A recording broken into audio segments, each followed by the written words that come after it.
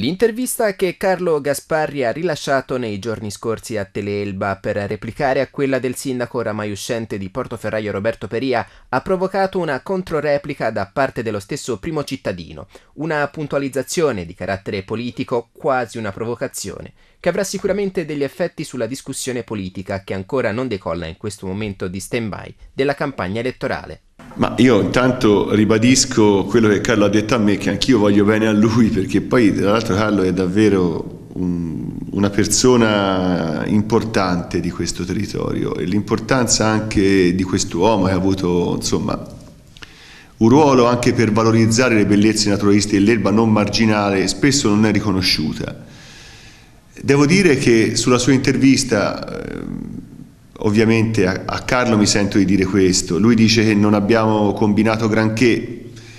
se va nell'albo pretorio online e guarda la mia relazione di fine mandato troverà le 76 opere fra piccole e grandi che abbiamo realizzato negli ultimi cinque anni e ce ne sono altre che verranno realizzate in questi mesi, non sono contenute nel rapporto che si ferma al 31 dicembre 2013. Eh, se guarda la storia amministrativa trova gli oltre 20 milioni di euro di lavori fatti direttamente dal Comune, oltre a tutti quegli altri concordati con altri enti pubblici e lasciati comunque alla collettività. Però c'è una cosa che mi colpisce eh, nel, nella reazione che ha avuto Carlo, cioè lui effettivamente è eh, l'uomo forte del, eh, della lista che fa capo a Mario Ferrari e io qui pongo un problema politico, lo pongo come riflessione, eh, come riflessione collettiva anche di un'intera città. Carlo è sempre stato contro le scelte urbanistiche che noi abbiamo fatto, dal porto